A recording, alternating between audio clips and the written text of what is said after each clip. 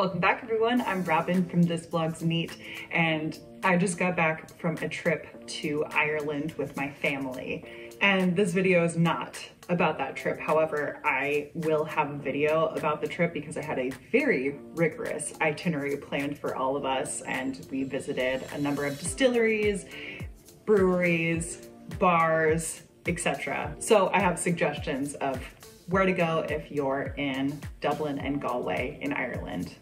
Um, but while I was in Ireland, I reached 1,000 subscribers. So I just wanted to say thank you to all of my subscribers, all of you new subscribers. Thank you so much for getting me to this point. So for this Savor at Home video, I'm going to be tasting one of the whiskeys that I picked up while I was in Ireland. This is Dunville's single malt. This is their Palo Cortado cask finish.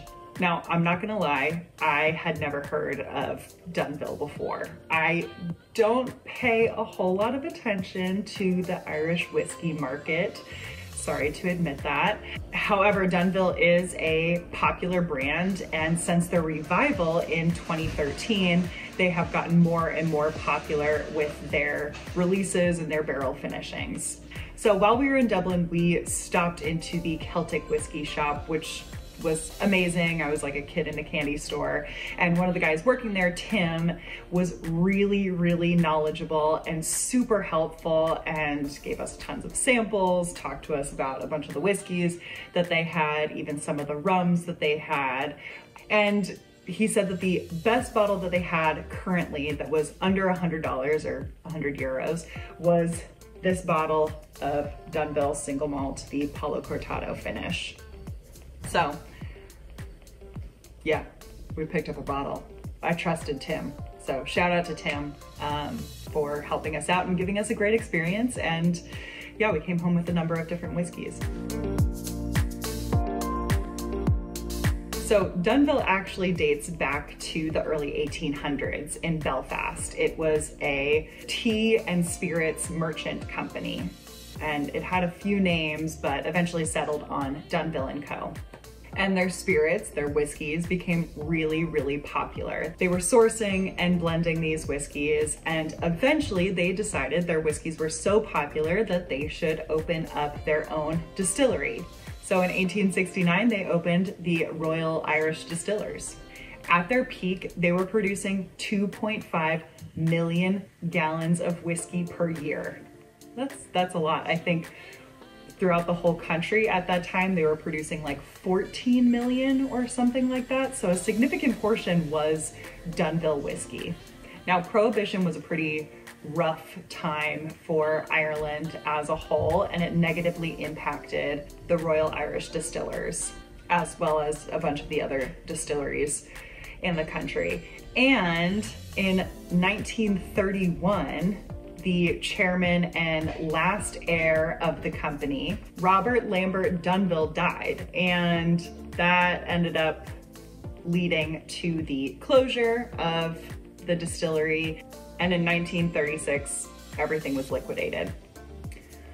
So everyone thought that was the end of Dunville whiskey until 2013 when the Echlinville distillery decided to revive Dunville.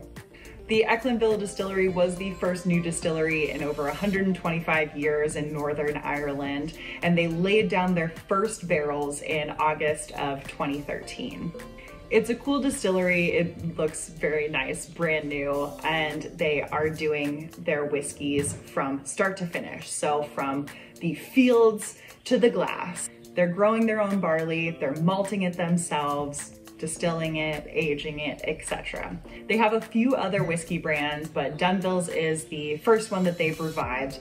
And as far as I know, they are still sourcing the whiskey that they put into the Dunville bottles. So I don't know where it's sourced from. However, somewhere on the internet, I heard slash read that it was Cooley that they're sourcing from.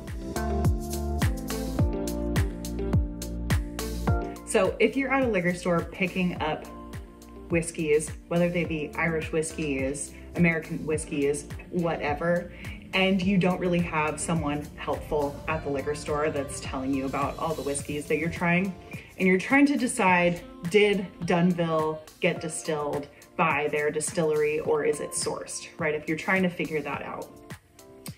There are hints on the back. So there's new rulings for the labeling for uh, especially in the US. This, of course, was not bought in the US, but especially in the US, there's kind of new rules for what you can and cannot put on bottles because a lot of non distiller producers were putting produced by blah, blah, blah distillery when in fact they were just sourcing and bottling it themselves and um, claiming that it was their own. Um, so the US has changed that ruling where you can't just say produced by, you have to say like distilled, aged, and bottled by, or you just say bottled by if you did uh, just source it and bottle it. Anyways, that to say, on the back of this, it says aged and bottled at the Echlinville Distillery. Aged and bottled. So that's a dead giveaway right there that they did not distill this themselves because if they did, it would say distilled, aged, and bottled or whatever uh, on the back. But anyways, does it matter? I don't know. To some people it does. So let me tell you about this. So single malt Irish whiskey, just like single malt Scotch, has to be made at one single distillery from 100% malted barley. So this is being sourced from one single distillery. Maybe it's Cooley, maybe it's not. I don't actually know. It's produced from 100% malted barley and then it's aged for a minimum of 10 years. Again, there's no distinction of how long it was finished in the Palo Cortado casks. However, on the internet, I read slash heard that it was finished for about three years, but I don't know. And then it's also said that this was previously aged in ex-bourbon casks, which makes sense. It's at 46% ABV and this costs about 82 euros, which is like $90 in the US. So not too bad. Now, Palo Cortado sherry is pretty cool. It's like this accidental sherry that supposedly only happens when the sherry decides it wants to happen. As far as flavor profile goes, it's said to have the delicate bouquet of Amontillado sherry, however also has the body and palate of Oloroso sherry. And that does go into how it's made. So Palo Cortado starts as a sherry that's being aged similar to a fino or fermented similar to a fino where it's under a flor. So this is this yeast that's this protective layer over the top of the sherry. It's fermenting the sugars into alcohol while also protecting the sherry from any oxidation. So there's no oxidative aging happening. Oloroso, on the other hand, does not have the flor, so there's a lot more oxidation going on. Now it's said that the Palo Cortado sherry starts as a fino and then suddenly the flor drops.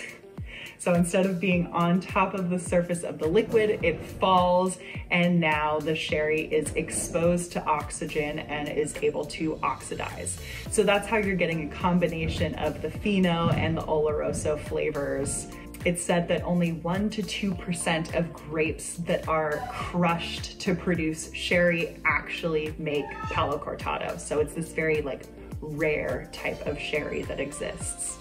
For those that are interested, like myself, the flor is comprised of specific species of Saccharomyces cerevisiae. So it's really cool that this is just a typical brewer's baker's yeast, but it's specific strains that cause it to create this flor, this pellicle layer, essentially, if you're a brewer, on the top of the sherry. Anyways, this video is not about sherry, although I just went on for a while about sherry. But I think we should try this because I have not opened it yet and I'm very excited to try it.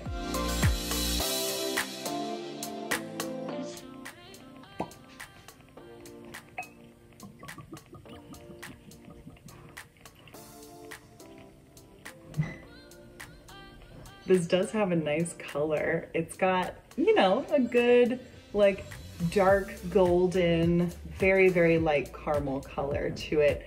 So before I dive in, I do want to give a huge shout out to the Patreons.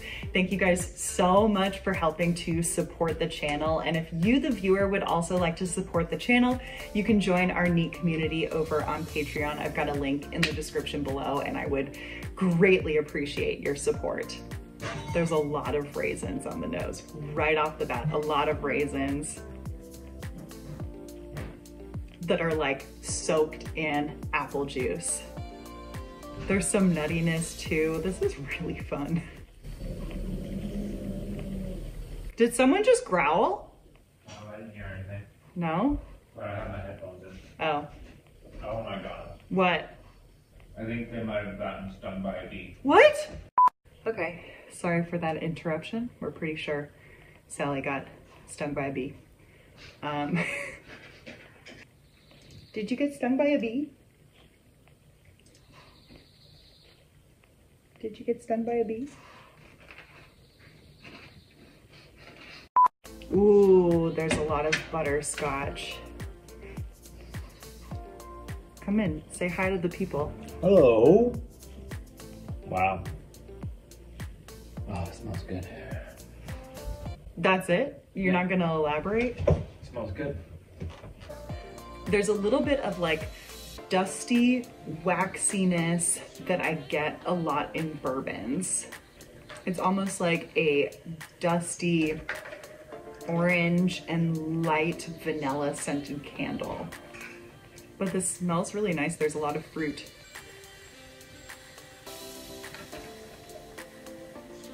Mhm. Ooh, a lot more fruit on the palate too. So many figs in the form of fig Newtons. So many raisins. There's a stewed apple thing. Oh, what else is there? Ooh, ooh. Some plums and nectarines, like really, really juicy ones. There's cinnamon and cloves. A little bit of a like tobacco thing as well as some espresso. This also has a nice mouthfeel too. It's got a nice viscous mouthfeel. There's a little bit of heat that presents as like some tingliness. Some of that bitter orange comes forward on the palate too. I'm now getting more ripe fruits on the nose. And a little bit of like, this is gonna sound very weird, a little bit like a really rich tomato sauce. If you were like pairing a rich tomato sauce with like a dark Cabernet, would you do that? Would you pair tomato sauce with Cabernet? Yeah, for sure. Nice Sunday meal with a cab.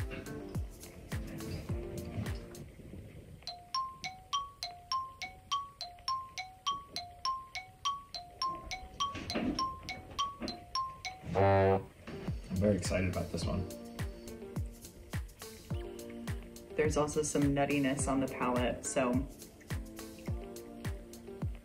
I feel like I'm getting some Brazil nuts on the palate.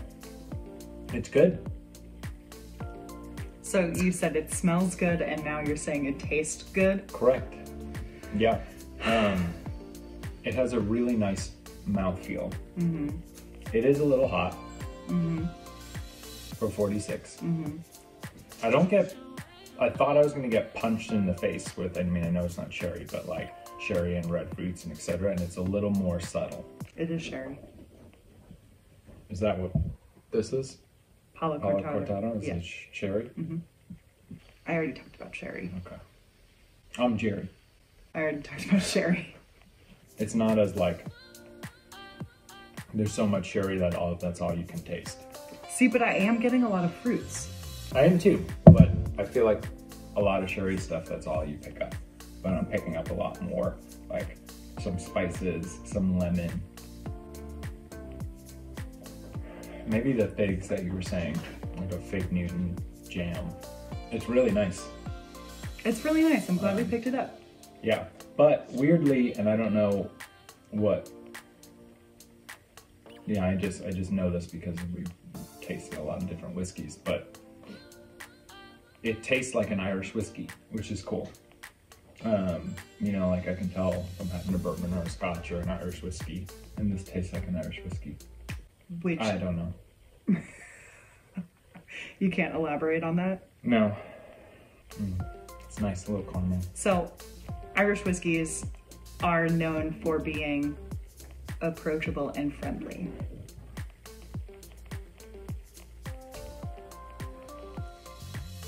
I wouldn't describe it as that. No? I mean, it is, it is, but like, you know, I feel like that just means it has no taste or something. No. This this tastes good. Like I mentioned before, it smells good and it tastes good. Uh, hold on, hold on, hold on. Would you recommend? Yes. So, How much did we buy this for? I think it was like, it ended up being like 90 USD. Yes. Would Yes. recommend for that price. hmm Would you? Yeah. Uh, Yeah. So, remember Tim? Yeah. He's a good guy. Tim said there were three bottles left, and he said these will be gone by later today. So, from what I've gathered, Dunville's releases do go very quickly. Yeah. If you enjoyed this video, remember to like, subscribe, hit that notification bell, leave us a comment. And we'll be back to you soon with some more unique videos. I mean, we picked up a lot of Irish whiskey. I think we will have more Irish whiskeys. We've got some exciting things to taste. taste. yeah. Yeah. Robert Rant. Robert. Robert.